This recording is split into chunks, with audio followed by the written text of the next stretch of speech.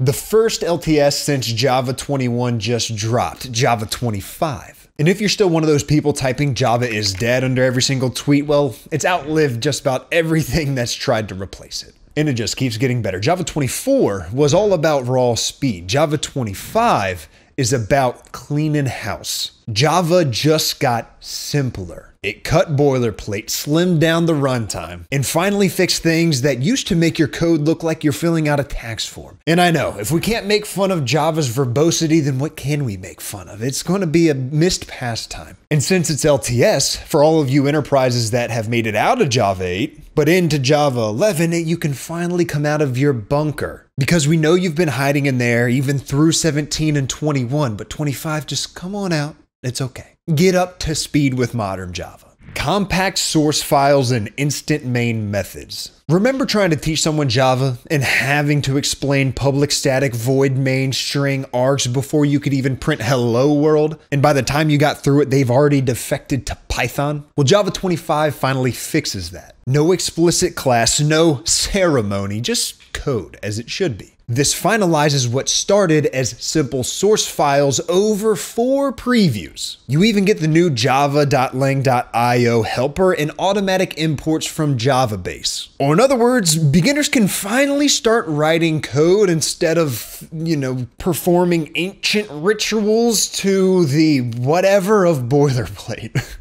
Flexible constructor bodies. Constructors used to be like that one boss who demanded you turn in paperwork before you even sat down. Java forced you to call super or this as the very first thing. You want to validate, you want to throw an exception, no, can't do that. You got to effectively fill out this form first. Now you can actually do useful work before chaining. It's cleaner, saner, and doesn't have you scratching your head wondering why is this illegal Java code? Primitive types and patterns, instance of, and switch. Third preview. Java's pattern matching keeps leveling up. We got records, sealed classes, object patterns, and now finally, primitives. No more boxing dance, just switch on the actual primitives. Still preview, still behind enable preview, but it means fewer instance of integer checks and less feeling like you're writing Java 1.2 code. Scoped values, which is finalized, and structured concurrency, fifth preview. So, two Loom features graduate. Scoped values, now final, are like thread local but without memory leaks. And maybe some career ending production bugs, couldn't be me. Perfect for stuff like request IDs or auth tokens when you're spawning virtual threads everywhere. And structured concurrency, still in preview, is the nicest way yet to wrangle, spawn three tasks, and cancel on failure logic without your codebase looking like spaghetti spilled on a stack trace. Memory and GC, compact object headers, and generational Shenandoah. This is the boring but important stuff that'll actually save you real money. What compact object headers means is that you can shrink object headers from 12 bytes to 8, which may not sound crazy.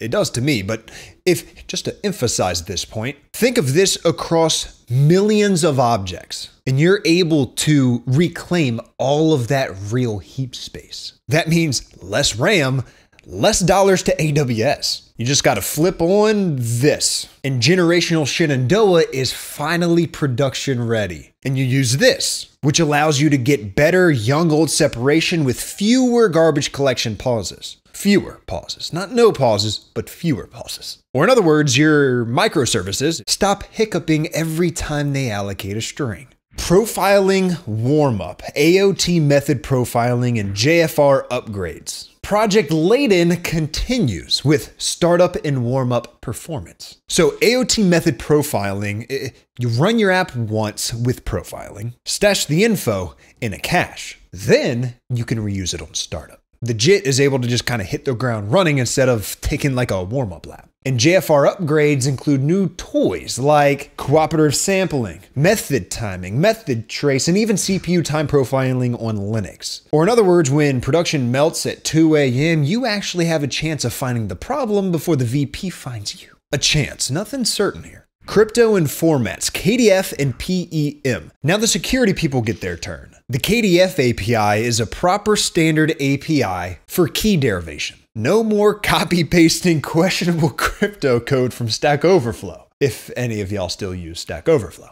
And PEM encoding is preview support for reading, writing, PEM certs and keys, which means finally no more third party library just to parse a cert. Module import declarations and vector API. Modules, at the very least, just got a little easier to teach. Yes, this is a real thing now. It's like import, but for whole modules. Will it save Java modules? No, but it'll make demos suck less. And the Vector API is still incubating, if you will, in round 10. It's not flashy by any means, but it does give you SIMD ops without dropping to JNI. So if you're doing numerics or signal processing or ML in Java, you may want to keep an eye on this. Java 25 has 18 JEPs total. We hit the headliners, the most important according to me. But there's also a lot of AOT ergonomics, more JFR events, and the official funeral for 32 bit x86. And if that affects you, because you're still running 32 bit in 2025, I don't know what's wrong. Who hurt you? So that's it. Java just got simpler, less boilerplate, cleaner constructors, pattern matching that doesn't make you cry, real garbage collection wins, profiling that actually helps, and beginner friendly code for the most part, that won't scare new devs off to some silly language like Python or Go. And again, very importantly, it is in LTS, which means you can finally ship it to prod without your architecture review board staging and intervention. So if you're on Java 8, Java 11, Java 17, Java 21, whatever, just Java 25 is better than all of those. So come on, get to work. I appreciate y'all watching. I'll see you in the next one. And if you're an experienced software engineer looking to brush up your skills on your language or learn a new language, check out codecrafters.io using my link for 40% off. Maybe you want to learn more Java. Maybe you want to learn C Sharp or Kotlin, which are great Java alternatives, or Zig and Rust. Rust is somewhere up here. Rust up here. You do things like build your own shell or build your own Redis or Kafka or grep. You can take a look at their GitHub and actually see all of this code for free. Or if you are going to pay and follow along, you can use my link, which is in the description, to get 40% off.